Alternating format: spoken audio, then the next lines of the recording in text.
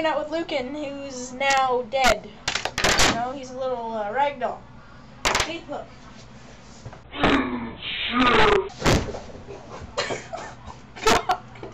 that didn't go as planned.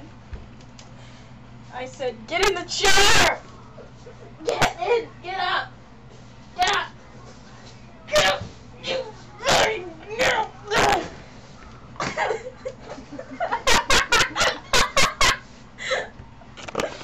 This freak.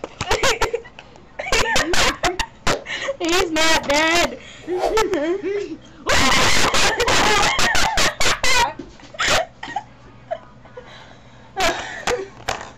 oh, good times.